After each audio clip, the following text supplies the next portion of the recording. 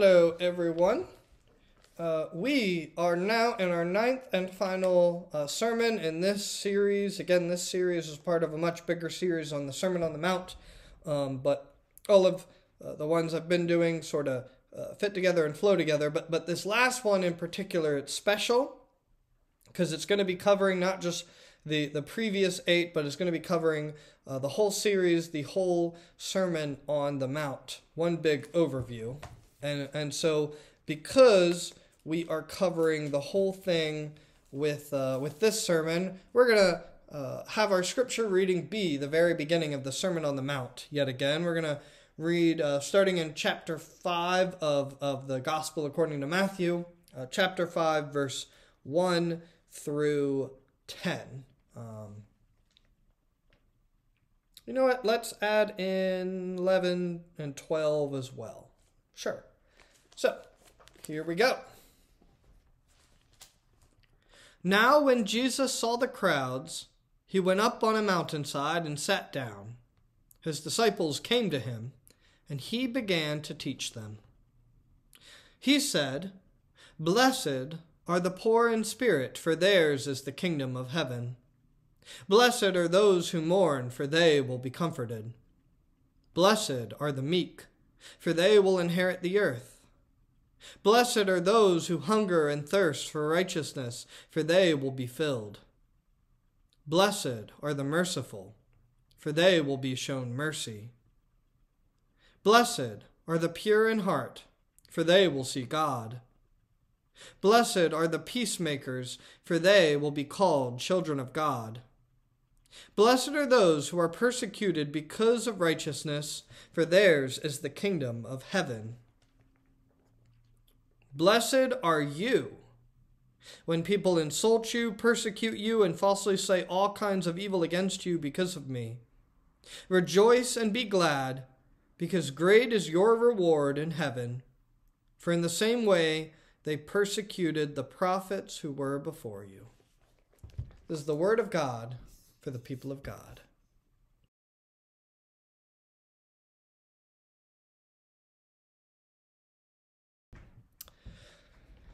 In the Christian TV series, The Chosen, uh, the second season ends with Jesus preaching the Sermon on the Mount.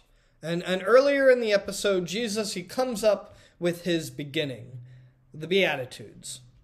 And in describing it to his disciple Matthew, he describes the Beatitudes as a map, directions where people should look to find me. If someone wants to find me, these are the groups they should look for.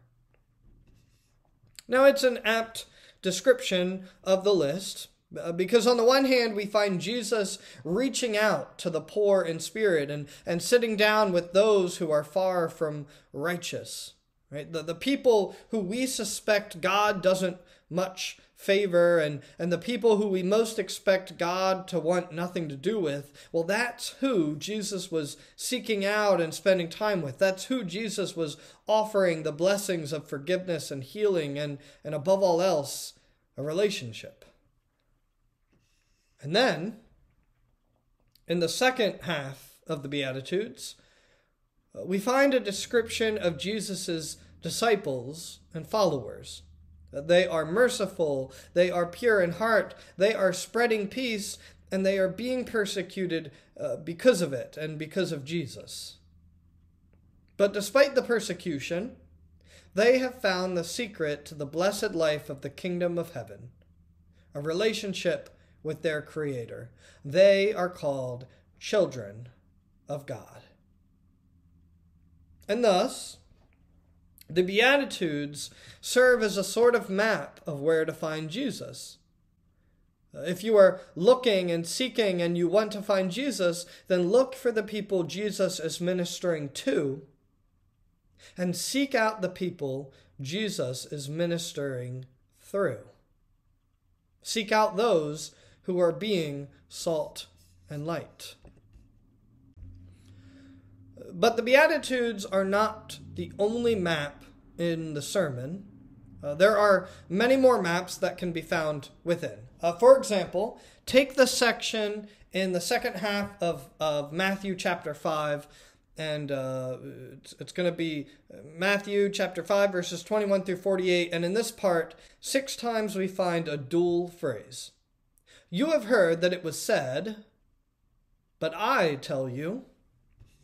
The, the whole section is about how we treat people, uh, but the first and the, the last teachings pair nicely. Uh, it, it, opens with Jesus telling us about uh, uh, telling us how to treat our brothers and sisters so as to keep them from becoming our enemies, while it ends with Jesus telling us how we should treat our enemies in such a way that they stop being our enemies.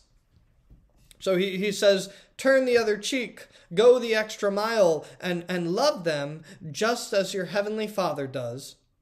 Because as God's children, you should mimic and take after him. And thus, it is not just instructions on our behavior, but it is a map that, if followed, leads us to have fulfilling interpersonal relationships, and it leads us to experiencing the blessed life of the kingdom. Now, uh, this section is then followed by the section on giving, prayer, and fasting. It would have been the first sermon in, in this series of nine. Uh, but Matthew chapter 6, 1 through 18, uh, three times Jesus tells us to not be like the hypocrites, right? Uh, to not be like the actors who give, pray, and fast publicly to earn applause. Do not be like them, Jesus says. Do not do these things for the wrong reasons. Instead, Jesus says, give and pray and fast in secret. Do it for the right reasons. Do it genuinely. And do it secretly so as to protect yourself against a shift in motivation. And, and do not worry if nobody else sees what you do. Your heavenly Father will see it and will reward you. And the best reward God can offer us is a relationship. Right? It's right there in the Beatitudes.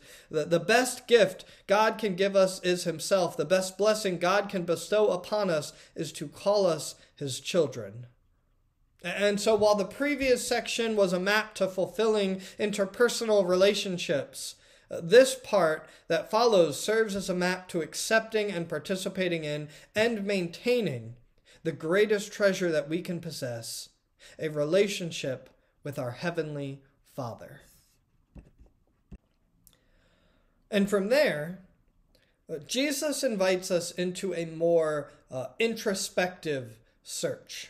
Uh, introspection being the examination or observation of one's own mental and emotional processes. Uh, you see, the reality is all three of these sections, they deal with, with three relationships. Our relationship with others, our relationship with God, and our relationships with ourselves. But each section takes a primary focus. All right? Uh, so the first one was about us and others. The second one's primary focus was us and God. And this third section focuses on our relationship with ourselves. So, uh, Jesus invites us to wrestle with our own propensity towards idolatry, uh, challenging us to choose God over money, for example, as the master of our lives. And then Jesus bids us to struggle against our own tendency to worry, daring us to, to spend our primary efforts chasing after the kingdom, uh, followed by Jesus petitioning us to com- combat our, our bad habit of judging and condemning others, pr- provoking us to first look inward and to recognize our own faults and to emerge from that introspection full of humility, empathy, and relational vulnerability. And these, all of these, they get sandwiched in between two slices of God view bread. Uh, now, now, the first slice, it, it, warns us of the importance of having a healthy eye, a healthy view of our Heavenly Father, while the concluding slice encourages this healthy view. Right? Ask your Father, and He will give. Seek your Father, and you will find Him. Knock on your father's door and he will open up because that's who he is. He is a good, good father. This third part then is it's kind of like a map inside of a map. Right? The the inner introspection map it guides us to a healthy it, it, guides us to healthier mindsets and worldviews so that we aren't bogged down by worrying about the wrong things such as money or survival or that our rude neighbor will get what's coming to them. And instead we will be unhindered and free to experience the blessed life of the kingdom. And meanwhile the the outer god view sand, sandwich bread map the, the outer God view map, it guides us as far as how to actually do that. The secret to having those healthier mindsets and worldviews is to have a proper view of our Heavenly Father. Now, uh, all three of these sections, right, dealing with our relationships with, with others, with God, and with ourselves, uh, they are all summed up in one brief teaching at the very end. So in everything, do to others what you would have them do to you, for this sums up the law and the prophets. And we can know that this sums up all three sections because of an earlier slice of bread. Uh, you see, back in Matthew uh, chapter 5, verse 17, Jesus says, Do not think that I have come to abolish the law or the prophets. I have not come to abolish them, but to fulfill them. And then, uh, as we discussed last week, these are sandwiched between grace and duty. Right? The, the grace, the, the invitation and opportunity presented in the Beatitudes map, it claims that the kingdom, this relationship with our Heavenly Father, and the blessed life that accompanies it, it, it has been made available to us. And then Jesus lays out instructions for how to live as members of this kingdom and as subjects of our king. And, and he concludes with the four do's, the duty, right? Telling us to practice what he preaches because while our admittance into the kingdom is based on grace alone, once we join, grace is joined by duty. Our proper response to grace, our proper response to grace is obedience. And obedience is how we be the salt, and it's how we shine the light, and it's how we make the peace. And so, um, as I, I hope you can see, it is all one big map. It's instructions telling us that we must begin at grace. If you don't start there, you immediately start out lost, and until you find it, until you find that starting point of grace, you will remain outside of the kingdom. But but then once you find the starting place, once you find the grace, it's like you've only just begun because from there Jesus beckons you to travel further down the path of grace to see what more this king and his kingdom of grace have to offer. And so if you need help getting your bearings and finding that starting point, you know, reach out to me or or if you are on the path and journeying forward, right, keep going and keep reviewing this map as you do to ensure you don't get lost.